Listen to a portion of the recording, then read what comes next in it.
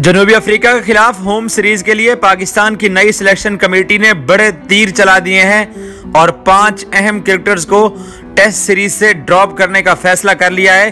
पाकिस्तान की हतमी टीम का ऐलान कल होगा।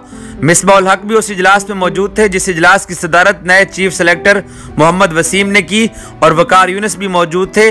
और इन दोनों कोचेस की मौजूदगी में मोहम्मद वसीम ने जो टीम फाइनल की है, उसमें पाँच क्रिकेटर्स को पाकिस्तान के टेस्ट स्क्वाड से ड्रॉप करने का फैसला कर लिया गया है और इसका ऐलान कल होगा।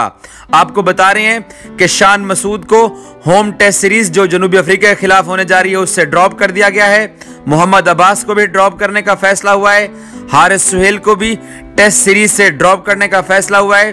फास्ट बॉलर सुहेल खान को भी टेस्ट सीरीज़ से ड्रॉप करने का फैसला हुआ है और wicket keeper batsman Sarfaraz Ahmed को भी ड्रॉप करने का फैसला किया गया है। हसन अली पाकिस्तान के टेस्ट स्क्वाड में वापस आ रहे हैं। कल team selection committee Hasan Ali की वापसी का ऐलान करेगी। हसन अली ने कैद आज़म ट्रॉफी में बहुत ज़बरदस्त परफॉर्म किया था और उनकी टीम फाइनल तक पहुँची थी।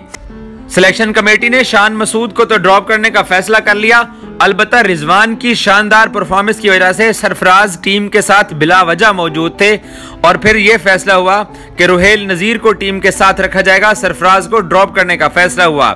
हारिस सुहेल की जगह अभी भी असद शफीक की वापसी के इम्कान हतमी नहीं है। ये नहीं कहा जा सकता कि असद वापस आ रहे हैं। आबिद अली को और नसीम शाह को सिलेक्शन कमेटी ने एक और, यानी आखिरी मौका देने का फैसला किया है कि वो परफॉर्म करें। फहीम अशरफ की कारकर्दगी से सिलेक्शन कमेटी मुतमिन दिखाई दी।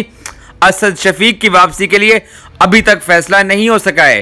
पाकिस्तान क्रिकेट बोर्ड की नई सिलेक्शन कमेटी की सरबराही सबक क्रिकेटर मोहम्मद वसीम कर रहे हैं और मोहम्मद वसीम की मौजूदगी में जो कल इजलास हुआ, उसमें मिसबाउल हक को, सकलैन मुश्ताक को और साथ पाकिस्तान अंडर 19 और पाकिस्तान ए टीम के कोच एजाज अहमद और बॉलिंग कोच वकार यूनस और director high performance Nadeem Khan को भी बुलाया गया था। इन तमाम लोगों का इजलास हुआ और इस इजलास में यह फैसला हुआ कि पाकिस्तान की टीम के अंदर जो होम सीरीज़ आ रही है, उसमें बड़ी तब्दीलियाँ की जाएँ, क्योंकि तब्दीलियों के बगैर टीम की कारकर्दगी बेहतर नहीं हो रही है। इसलिए पाकिस्तान की टेस्ट टीम में पाँच प्लेयर्स को ड्रॉप करने का फैसला हुआ है। उसमें हारिस सुहेल भी हैं, नाकिस कारकर्दगी थी उनकी, उनको ड्रॉप करने का फैसला हुआ। मोहम्मद अब्बास टीम के सीनियर बॉलर थे, लेकिन उनको भी ड्रॉप करने का फैसला हुआ। शान मसूद, जो कि टीम के अच्छे बैट्समैन हैं ओपनर बैट्समैन हैं, इंग्लैंड के खिलाफ सेंचुरी भी स्कोर की थी, न्यूजीलैंड में नाकाम रहे, इसलिए उनको भी ड्रॉप करने का फैसला हुआ।